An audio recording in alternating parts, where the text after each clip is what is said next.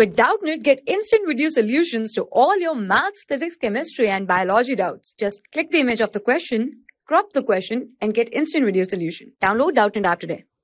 Hello, so our question is which enzyme converts the glucose into the ethanol? First of all, we have to know what is the enzyme. Enzyme is a biological catalyst which just accelerates the reaction.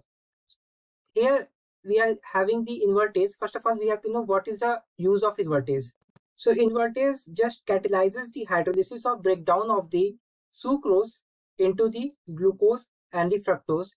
This is the use of the or function of the invertase. Now what happens if you try to know about the function of the zymase? So zymase is an enzyme complex that catalyzes the fermentation of sugar into the ethanol and carbon dioxide. This is the function of the catalyst or you can say that enzyme zymase. Now if you try to know about the function of the maltase. So maltase is an enzyme that catalyzes the hydrolysis of the disaccharide maltose to the simple sugar glucose.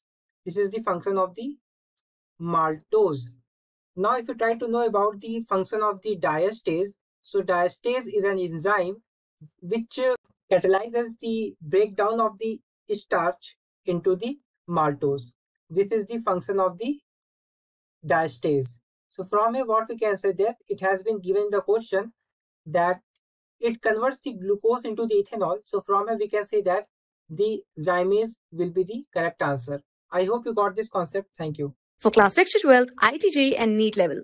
Trusted by more than 5 crore students. Download Doubtnut app today.